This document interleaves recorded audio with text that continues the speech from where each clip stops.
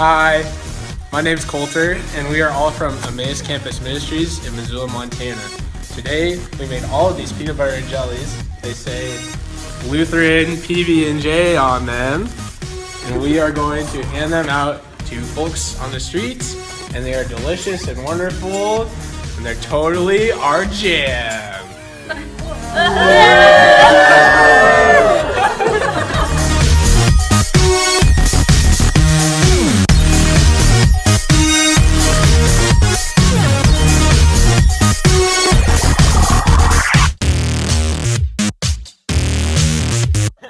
Hi, I'm Jason Nicholson. I'm the intern pastor at Emmaus Campus Ministry.